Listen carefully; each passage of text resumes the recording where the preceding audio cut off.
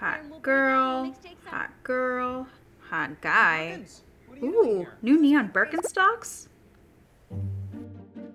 Where is that impossibly tiny remote? Are you sitting on it? A pink swing cap in your shower. I mean, I do already have seven pairs of Birkenstocks. Oh well, Mama needs eight. I am half watching.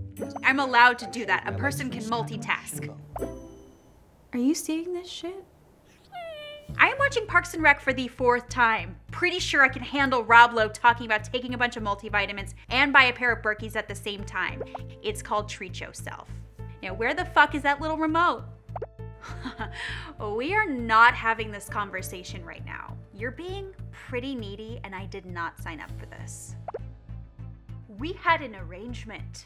I'm not trying to get attached here. I've got Hulu, I've got HBO Go, I've got Amazon Prime. Shit, I even have cable. I'm sorry, but you're not special. Really? I'm the jerk?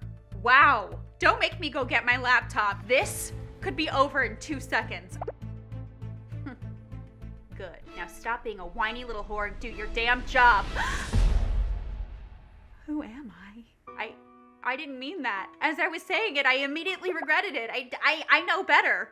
I don't even recognize myself anymore. It's the drugs. Again, I am so sorry. I did not know that, but now I do. I'm gonna do better, I promise. Is it okay to still say prostitute though? Noted. I will also not say that word. I will. Let's just go back to the way things were, please. What? Holy shit. Netflix just canceled me. Where the fuck is that tiny remote? God damn it. Don't forget to check out and become a patron on my new, sexy, smoking hot Patreon page. You'll see sketches and photo shoots, and you'll have access to my premium Snapchat. So check it out. Can't wait to see you there.